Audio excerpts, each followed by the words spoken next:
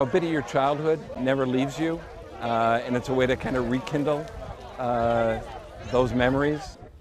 Former neighbors celebrating a lifetime of friendship after decades apart. After growing up together on the same street more than 30 years ago, this group of childhood neighbors is reuniting once more.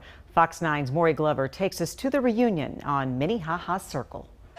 So good to see you. They say you can't go home again. Which one was your house? But these former neighbors in St. Louis Park are willing to give it a try. Oh, it's exciting.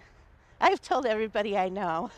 And that was uh, the Sheridan, or uh, the Palace. Victor Rutstein grew up on Minnehaha Circle. As I live out in Chicago, I haven't seen them in over 40 years. He's one of about 70 people who lived there in the 60s, 70s, and 80s who showed up to take a stroll down memory lane in their old neighborhood. Houses are the houses, uh, but what really made the neighborhood are all these people here. It's just, it, it's hard to put into words. Some of his former neighbors organized the reunion after seeing each other at a virtual memorial service for one of the longtime residents on the block who passed away.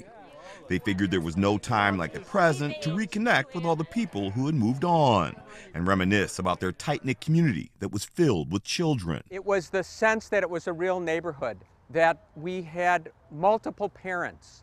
We would leave in the morning to go play with our friends and come back at night. No one would ever worry because everybody's eyes were on everybody. During a walking tour of their old stomping grounds, many in the group stopped to pose for pictures in front of their former homes. Just brings us all back to a, a time I think that we all cherish together in our own different ways. And there was a sense of, of community and camaraderie.